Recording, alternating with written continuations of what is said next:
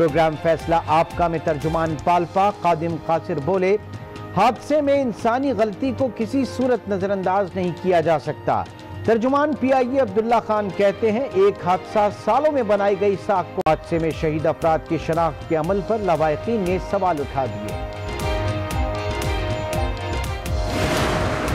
वज़ीर आज़म को भी चीनी तहकीकत में शामिल किया जाए, तर्जुमान सिंध हुकूमत मुर्तजा वहाब का मुतालबा।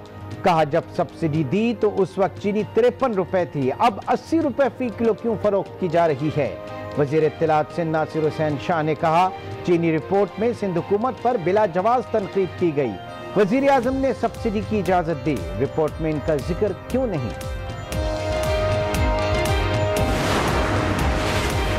शुगर इंक्वायरी कमीशन की रिपोर्ट पर विफाकी वज़ीर इतलात शिबली फराज की मुस्लिम लीग नून पर कड़ी तनकीद।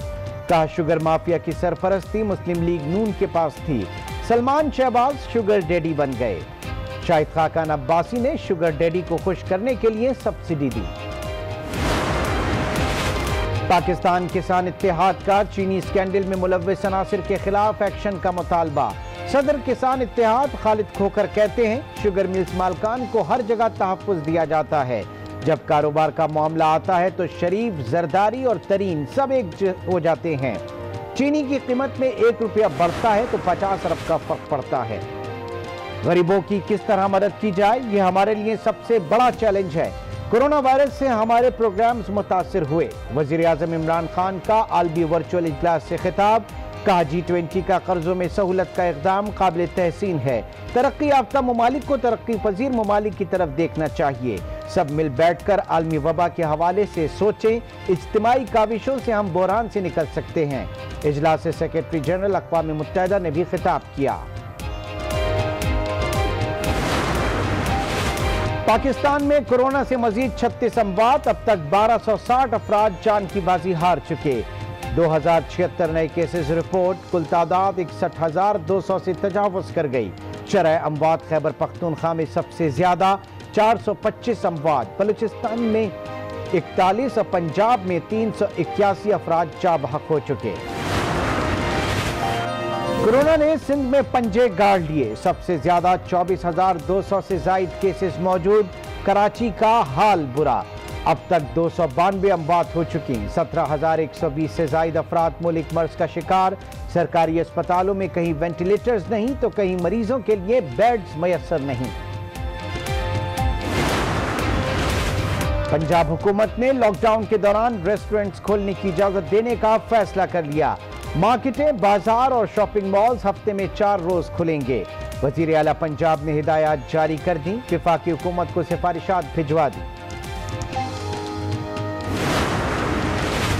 महकमा सेहत बलूचिस्तान ने सूबे में कर्फ्यू लगाने की सिफारिश कर दी। सेक्रेटरी सेहत बलूचिस्तान दोस्तीन खान जमाल तीनी की जेर सदारत, तिब्बी माहरीन और डॉक्टर्स का इजलास।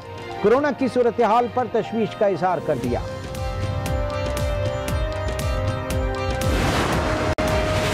कोरोना के खिलाफ जंग में एक और मसीहा ज़िंदगी हार गया। बलूचिस्तान में एमबीसी अस्पताल के ट्रॉमा सेंटर के इंचार्ज डॉक्टर जुबैर इंतकाल कर गए।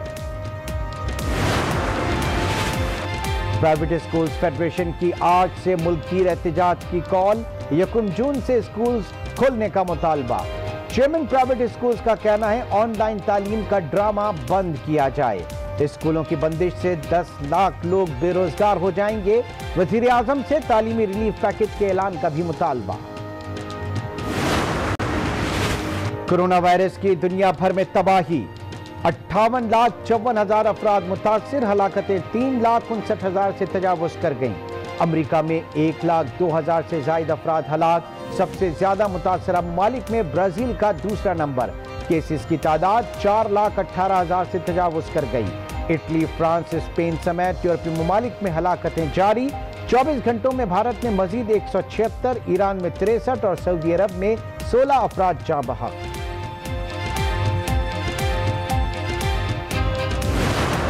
लोगों को घर से बाहर निकलने के लिए सरकारी ऐप के ज़रिए इजाजतनामा हासिल करना ज़रूरी होगा। नमाज़ जुमा की अदायगी के लिए मसाजिद भी खोली जाएँगी। बरतानिया में भी लॉकडाउन में नरमी। वज़ीर आज़म बोरिस जॉनसन कहते हैं, पीर से इंग्लैंड में छह अफराद तक बाहर इकट्ठा हो सकेंगे।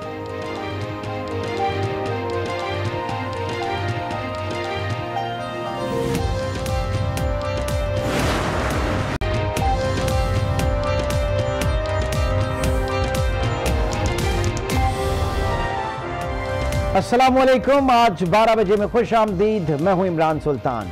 बुलेटिन के आगाज़ में आपको बताएँ कि सिंध हुकूमत ने शुगर इंक्वायरी कमीशन की रिपोर्ट को वज़ीर आज़म के खिलाफ चार्जशीट करार दे दिया। सूबाई वजरा का कहना है कि मुराद अली शाह पर इल्ज़ाम लगाना बदनीयती है। वज़ीर आज़म ने सब्सिडी की इजाज़त दी। रिपोर्ट में उनका ज़िक्र क्यों नहीं? वज़ीर आज़म को भी चीनी बोरान की तहकीकात में शामिल किया जाए। इस हवाले से तफसीत जानेंगे कामरान शेख की इस रिपोर्ट। शुगर इंक्वायरी रिपोर्ट के मामले पर सिंध की वफाक पर तनकीद सुबाई वज़ीर इतलात नासिर हुसैन शाह और तर्जुमान सिंध हुकूमत मुर्तजा वहाब की प्रेस कॉन्फ्रेंस। कहा, चीनी एक्सपोर्ट करने की इजाज़त वज़ीर आज़म ने दी। उनसे तहकीकात होनी चाहिए। बदनीयती कहाँ है? और शफाफ तहकीकात के लिए इंक्वायरी के लिए सबसे पहले मैं समझता हूँ, वज़ीर आज़म पाकिस्तान की इंक्वायरी होनी चाहिए, इन्वेस्टिगेशन होनी चाहिए कि उन्होंने क्यों शुगर की एक्सपोर्ट की इजाज़त दी। नासिर शाह ने कहा वज़ीर आला ने किसानों को फ़ायदा पहुँचाने के लिए तमाम मिल्स को बिला तफरीक सब्सिडी दी। मुराद अली शाह पर इल्ज़ाम लगाना बदनीयती है। ओमनी ग्रुप को सिर्फ़ पंद्रह फ़ीसद सब्सिडी मिली। जिस चीफ मिनिस्टर के लिए सब कुछ लिखा गया उसका नाम तक नहीं ले रहे। जिस प्राइम मिनिस्टर ने एक्सपोर्ट की इजाज़त दी उनका कहीं ज़िक्र नहीं है उनका कोई नाम नहीं है। सिर्फ़ सिंध गवर्नमेंट गवर्नमेंट के लिए ये सारी बातें की जा रही हैं। पीपल्स पार्टी के वजरा का कहना था। वफाकी हुकूमत ने अपने लोगों को फंसता देखकर अपोजिशन को निशाना बनाने का फैसला किया। शुगर इंक्वायरी कमीशन की रिपोर्ट पर विफाकी वज़ीर इतलात शिबली फराज की मुस्लिम लीग नून पर कड़ी तनकीद। कहा शुगर माफिया की सरपरस्ती मुस्लिम लीग नून के पास थी। सलमान शहबाज शुगर डैडी बन गए। शाहिद खाकान अब्बासी ने शुगर डैडी को खुश करने के लिए सब्सिडी दी। शायद खाकान अब्बासी जो कि वजारत आजमा में आए, उन्होंने भी अपने अहद हुकूमत जो कि बहुत ही थोड़ा अरसा रही, उसमें शुगर माफिया के लिए, क्योंकि ज़ाहिर है कि शुगर माफिया को सरपर की सरपरस्ती शरीफ फैमिली के पास थी। शरीफ के बेटे सलमान शरीफ जो कि शुगर डैडी बन गए। वो शुगर डैडी ने फैसिलिटेट किया सारी जो उसमें मराहल होते हैं सब्सिडी के देने के लिए, जिसमें कि कई उन पैमानों को नजरअंदाज किया गया। उस वक्त जो अवेलेबल शुगर थी, उसका कम हिस्सा एक्सपोर्ट किया। बजाय उस वक्त के जबकि कीमतें सबसे ऊँची थी, मुल्क का फ़ायदा होता फॉरेन एक्सचेंज हमें मिलता। उन्होंने अपने शुगर डैडी को खुश करने के लिए उन्होंने ये सब्सिडी दी। पाकिस्तान किसान इतिहाद ने चीनी स्कैंडल में मुलविस अनासर के खिलाफ एक्शन का मुतालबा कर दिया। किसान इतिहाद के सरबराह खालिद खोखर कहते हैं कि शुगर मिल्स मालकान को हर जगह तहफ़ दिया जाता है। लाहौर में प्रेस कॉन्फ्रेंस के दौरान किसान इतिहाद के सदर खालिद खोखर ने कहा कि एक रुपए चीनी की कीमत बढ़ाने से पचास अरब रुपए का फ़र्क पड़ता है। शुगर मिल्स मालकान को हर जगह तहफ़ दिया जाता है। जब कारोबार का मामला आता है तो जरदारी, जहांगीर तरीन समेत सब एक हो जाते हैं। काश्तकार के नाम पर टेक्सटाइल और शुगर मिल्स मालकान सब्सिडी वसूल करते रहे हैं। जहांगीर तरीन साहब हूँ, चाहे शरीफ फैमिली हो, चाहे जरदारी फैमिली हो चाहे बाकी जितनी फैमिली है जब बिज़नेस का मामला आता है तो वहाँ पे ये एक कौम है। वहाँ पे सिर्फ़ अपने इंटरेस्ट के लिए वॉच करते अपना इंटरेस्ट वॉच करते हैं। खालिद खोखर का कहना था कि गुजशत साल 160 से 180 रुपए मन गन्ना बेचा गया जिससे शुगर मिल्स मालकान ने अरबों कमाए। उन्होंने चीनी की कीमत में कमी लाने और शुगर माफिया के खिलाफ सख्त एक्शन का भी मुतालबा किया। मुल्क भर में कोरोना केसेस में तेज़ी से इजाफा जारी है। 24 घंटे में मजीद दो हज़ार छिहत्तर अफराद वायरस का शिकार हो गए, जिसके बाद मुतासरी की तादाद इकसठ हज़ार दो सौ सत्ताईस हो चुकी है। छत्तीस अफराद जान से गए अमवाद बारह सौ साठ हो गई। सिंध में सबसे ज़्यादा चौबीस हज़ार दो सौ छः पंजाब में बाईस हज़ार सैंतीस केसेज रिपोर्ट हुए। खैबर पख्तूनख्वा में आठ हज़ार चार सौ तिरासी अफराद मुतासर हैं, जबकि बलूचिस्तान में तीन हज़ार छः सौ सोलह। इस्लामाबाद में दो हज़ार पंद्रह मुतासरीन, इसी तरह गिलगित बल्तिस्तान में छः सौ इक्यावन और आज़ाद कश्मीर में दो सौ उन्नीस अफराद इस वक्त वायरस का शिकार हैं, जबकि सबसे ज़्यादा अमवात खैबर पख्तूनख्वा में हुई, जहाँ अब तक चार सौ पच्चीस अफराद जान की बाजी हार चुके हैं। सिंध में तीन सौ अस्सी, पंजाब में तीन सौ इक्यासी बलूचिस्तान में इकतालीस, इस्लामाबाद में उन्नीस, गिलगित बल्तिस्तान में नौ और आज़ाद कश्मीर में अब तक पाँच अफराद जा बहक हुए हैं।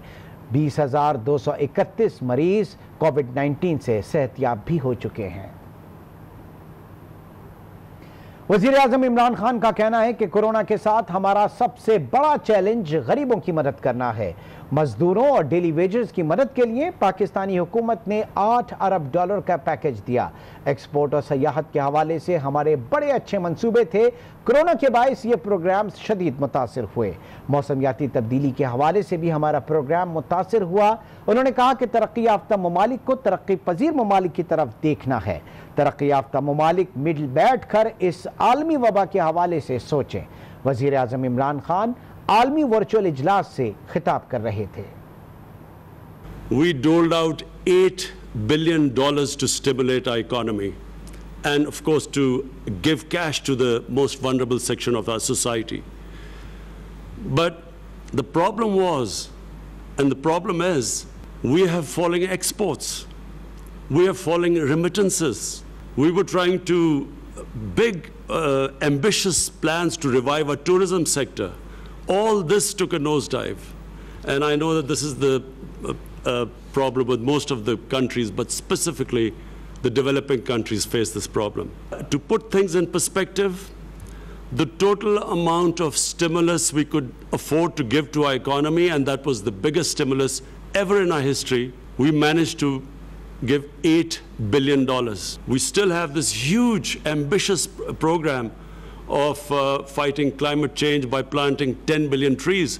So all this money got diverted into uh, dealing with uh, the effects of uh, the coronavirus lockdown. So all I want to say is that it is very important for the developing world to, at this critical juncture, look after the, uh, the, the, the people of the developing world which are struggling. उधर secretary सेहत बलूचिस्तान दोस्तीन खान जमाल दीनी की जेर सदारत तिब्बी माहरीन और doctors के इजलास में कोरोना वायरस के फैलाव पर तशवीश का इजहार किया गया जिसके बाद महकमा सेहत ने बलूचिस्तान में कर्फ्यू के नफाज की सिफारिश कर दी इस वक्त आपको अपडेट कर रहे हैं, सेक्रेटरी सेहत बलूचिस्तान, दोस्तीन खान जमाल दीनी की जेर सदारत, तिब्बी माहरीन और डॉक्टर्स के इजलास में कोरोना वायरस के फैलाव पर तशवीश का इजहार किया गया।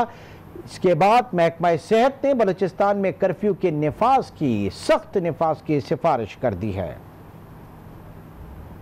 सुप्रीम कोर्ट की हिदायत के तहत सिंध भर में कारोबारी सरगर्मियाँ 31 मई तक मुरवजा औकात कार के साथ जारी रहेंगी। सैयद नासिर हुसैन शाह का ऐलान, कहा सुप्रीम कोर्ट ने 18 मई को हिदायत की थी कि कारोबारी सरगर्मियाँ 31 मई तक बगैर किसी रुकावट के तसलसल से जारी रहेंगी। 31 मई से पहले विफाकी हुकूमत एन सी सी का इजलास करेगी। इजलास में लॉकडाउन से मुतल सूबों की मुशावरत से फैसले होंगे। इसलिए सुप्रीम कोर्ट की हिदायत के तहत कल बरोज जुमा हफ़्ता और इतवार को कारोबारी सरगर्मियाँ दिए गए औकात के मुताबिक जारी रहेंगी।